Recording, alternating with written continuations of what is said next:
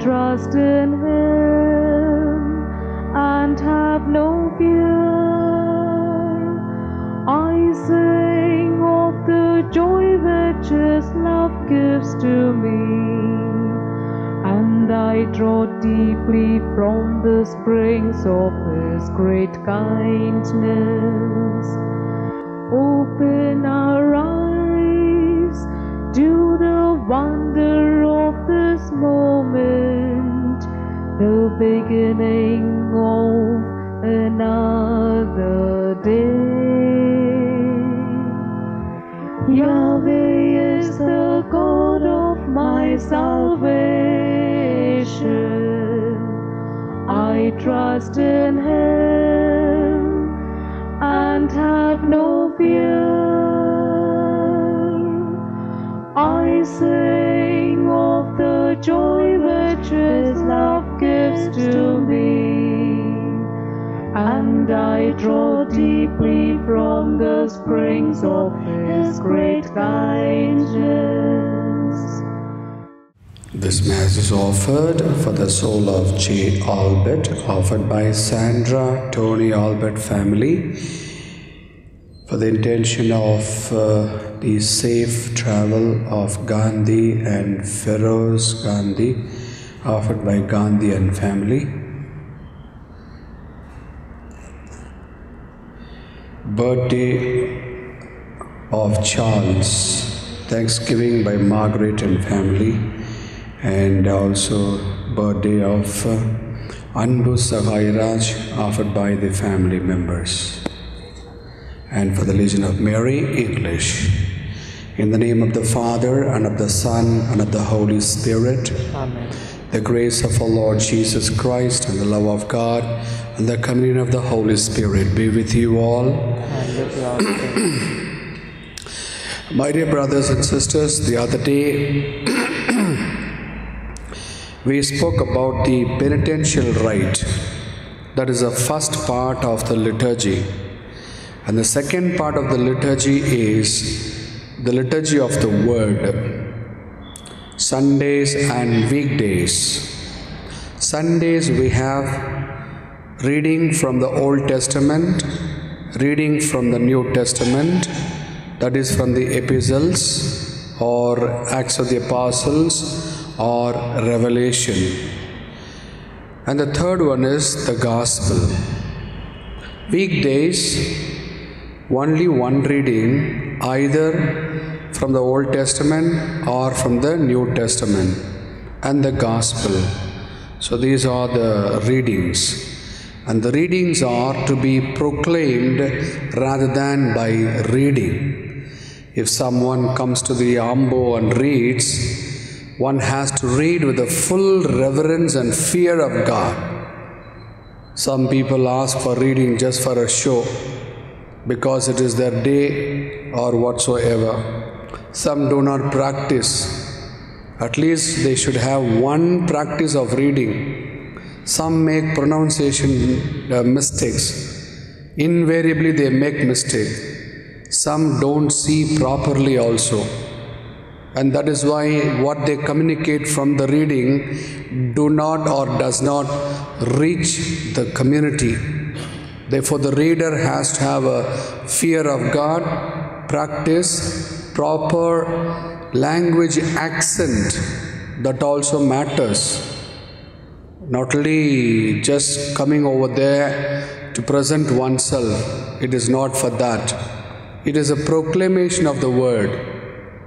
By the time one reads, one should have already understood what the reading, only then people will hear it.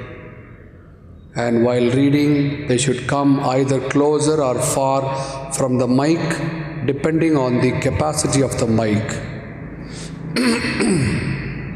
and therefore, the liturgy of the word is a second part, and that comes homily, what we call reflection Sunday reflection, weekday reflection. Sunday reflection is compulsory, whereas weekday reflection is optional. it can be or not necessary. And the third point I would like to stress when the reading is done, people should pay attention. Often people do not pay proper attention, rather, they give a mind to elsewhere. Some sleep, some doze, some wink, some do not bother what is read. Right? Even if it is a language reading most of the people know what the language either english kannada or tamil or whatsoever. So the reading is very important aspect of the liturgy. What comes is not the holy eucharistic uh, bread alone. It is a word. So word and the food. These are the two aspects. So today we have reflected uh, briefly before the mass about the liturgy of the word. Make sure whoever reads come with the diligence. If they are ladies always they should cover their head. That is a due respect not only to the reading and also to the crowd. Some people come with all dress dresses having loose hair stylish way. That is not proper. That's not proper we the Catholics should pay much attention to all these uh, things. So one who reads, make sure covers the head if he is or she a lady. Secondly, due reverence. Third, fear of God. Fourth, proper practice and accent. Coming together as God's family, let us acknowledge our sins.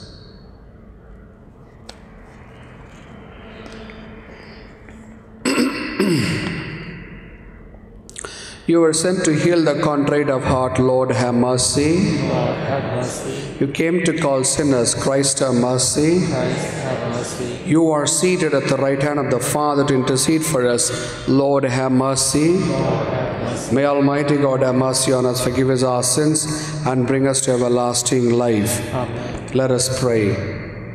Show gracious favor, O Lord, we pray, to the works of penance we have begun, that we may have strength to accomplish with sincerity the bodily observances we undertake. Through our Lord Jesus Christ, your Son, who lives and reigns with you in the unity of the Holy Spirit, one God forever and ever.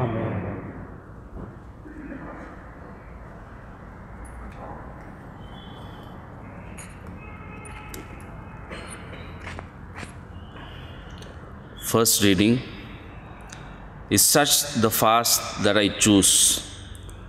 Reading from the prophet Isaiah chapter 58 verses 1 to 9. Thus says the Lord God Cry aloud, do not hold back. Lift up your voice like a trumpet. Declare to my people their transgression, to the house of Jacob their sins. Yet they seek me daily and delight to know my ways, as if they were a nation that did righteousness and did not forsake the judgment of their God. They ask me of righteous judgments. They delight to draw near to God. Why have we fasted and you see it not?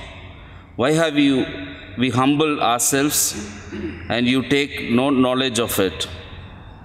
Behold, in the day of your fast, you seek your own pleasure and oppress all your workers. Behold, you fast only to quarrel and to fight, and to hit with a wicked fist. Fasting like yours this day will not make your voice to be heard on high. Is such the fast that I choose? A day for a person to humble himself? Is it to bow down his head like a reed and to spread sackcloth and ashes under him? Will you call this a fast and a day acceptable to the Lord? Is not this fast that I choose? To loose the bonds of the wickedness, to undo the straps of the yoke, to let the oppressed go free, and to break every yoke? Is it not to share your bread with the hungry and bring the homeless poor into your house? And when you see the naked, to cover him and not to hide yourself from your own flesh. Then shall your light break forth like the dawn, and your healing shall spring up speedily. Your righteousness shall go before you. The glory of the Lord shall be your rear guard. Then you shall call, and the Lord will answer. You shall cry, and he will say, Here I am. The word of the Lord. Thanks be to God. Responsorial Psalm. Your response shall be, A broken and humbled heart, O God, you will not spurn. A broken and a humble heart, O Lord, you will not spurn. Have mercy on me, O God, according to your merciful love, according to your great compassion. Blot out my transgressions, wash me completely from my iniquity, and cleanse me from my sin. Your response? A broken and humble heart, O God, you will not spurn. My transgressions, truly I know them. My sin is always before me. Against you, you alone have I sinned. What is evil in your sight, I have done. Your response? A broken and a humble heart, O God, you will not spurn. For in your sacrifice you do not delight.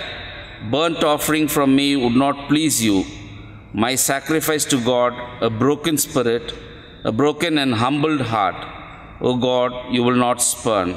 Your response? Broken and heart, O God, you will not spurn. Please stand to welcome the gospel. The Lord be with you. A reading from the Holy Gospel according to St. Matthew.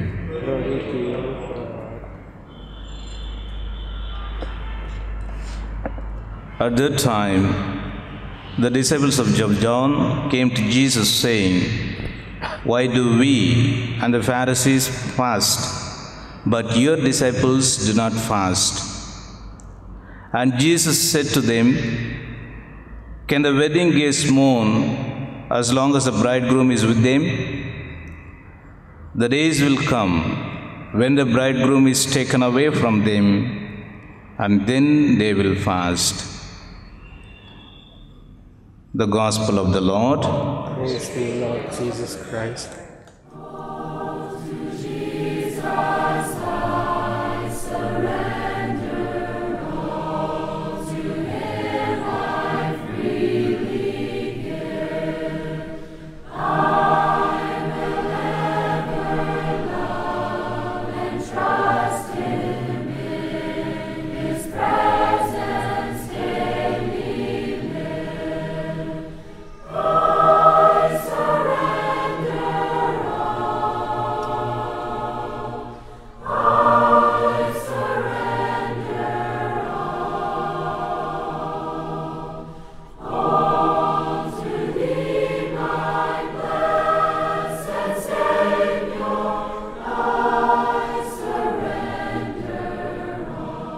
Pray, brethren, that my sacrifice and yours may be acceptable to God, the Almighty Father.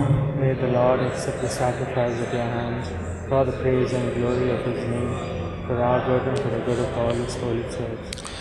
We offer, O Lord, the sacrifice of our Lenten observance, praying that it may make our intentions acceptable to you and add to our powers of self restraint through Christ our Lord. Amen. The Lord be with you. And with your spirit, Lift up your hearts. we lift them up to the Lord. Let us give thanks to the Lord our God. It is right and It is truly right and just, our duty and our salvation, always and everywhere to give you thanks, Lord, Holy Father, Almighty and ever living God. For you have given your children a sacred time for the renewing and purifying of their hearts, that freed from disordered affections, they may so deal with the things of this passing world as to hold rather to the things that eternally endure. And so, with all the angels and saints, we proclaim your glory as we acclaim. Holy, Holy, holy, Lord God of hosts, heaven and earth are full of your glory. Hosanna in the highest. Blessed is he who comes in the name of the Lord. Hosanna in the highest. You are indeed holy, O Lord, the fount of all holiness. Make holy, therefore, these gifts, we pray, that they may become for us the body and blood of our Lord Jesus Christ. At the time he was betrayed and he entered willingly into his passion, he took bread, giving thanks, broke it, gave it to his disciples, saying, Take this, all of you, and eat of it, for this is my body, which will be given up for you.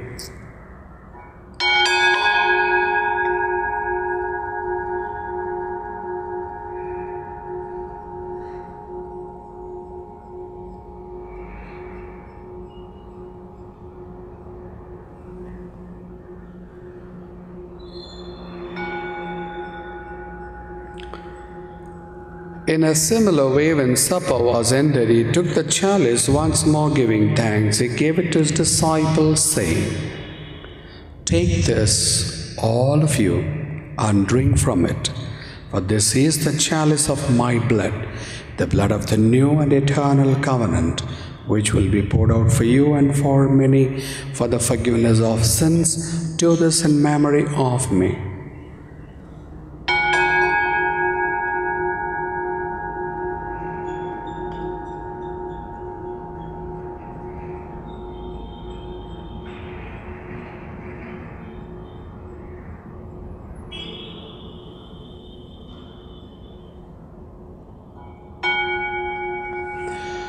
The mystery of faith, when we eat this bread and drink this cup, we proclaim your death, O Lord, until you come again. Therefore, as we celebrate the memorial of death and resurrection, we offer you, Lord, the bread of life and the chalice of salvation, giving thanks that you held us worthy to be in your presence and minister to you.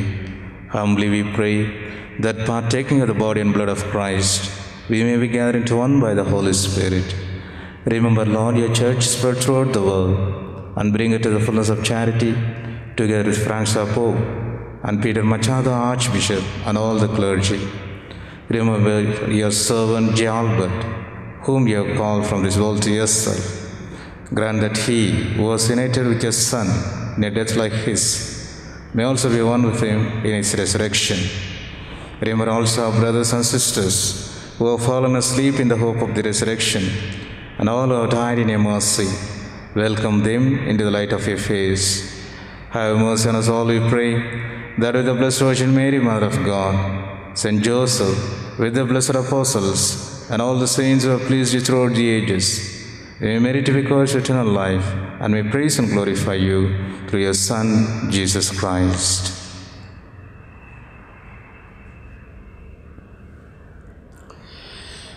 Through him and with him and in him, O God Almighty Father, in the unity of the Holy Spirit, all glory and honor is yours forever and ever. Jesus taught us to call God our Father. We have the courage to say, Our Father, who art in heaven, hallowed be thy name. Thy kingdom come, thy will be done, on earth as it is in heaven. Give us this day our daily bread, and forgive us our trespasses, as we forgive those who trespass against us. And lead us not into temptation, deliver us from. Deliver us, Lord, we pray, from every evil. Graciously grant peace in our days, that by the help of your mercy we may be always free from sin and safe from all distress as we await the blessed hope and the coming of our Savior, Jesus Christ. For the kingdom, the power, and the glory are yours, now and forever. Lord Jesus Christ, who said to your apostles, Peace I leave you, my peace I give you. Look not on our sins, but on the faith of your church, and graciously grant a peace and unity in accordance with your will, who live and reign forever and ever. Amen. The peace of the Lord be with you always. Let us offer each other the sign of peace. Lamb of God, take away the sins of the world, have mercy on us. Lamb of God, you take away the sins of the world, have mercy on us. Lamb of God, you take away the sins of the world, grant us peace. Behold the Lamb of God. Behold him who takes away the sins of the world. Blessed are those called to the supper of the Lamb. Lord, I am not worthy that you should enter under my roof, but only say a word, and my soul shall be healed. Wandered far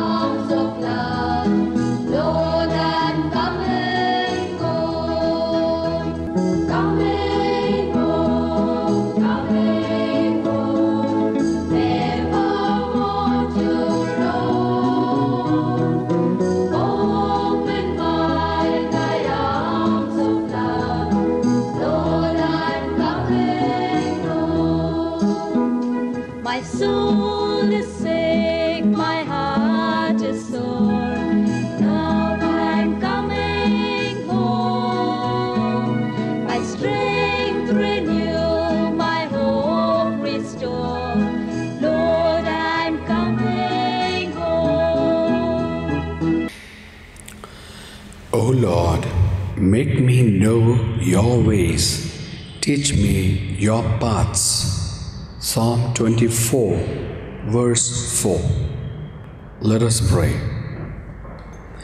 We pray, Almighty God, that through partaking of this mystery we may be cleansed of all our misdeeds and so be suited for the remedies of your compassion through Christ our Lord. Amen. Two persons celebrating their birthday. One is uh, Charles. Is she is here? Charles, okay. Anbu Sagairaj. Okay, Anbu Sagairaj, we wish you happy birthday with a lot of blessings from the Lord. May God bless you. Put your hands together, please. Have a pleasant, happy birthday. The Lord be with you. And with your spirit, May Almighty God bless you, the Father, the Son, and the Holy Spirit. Amen. Go, the Mass is ended. Thanks be to God.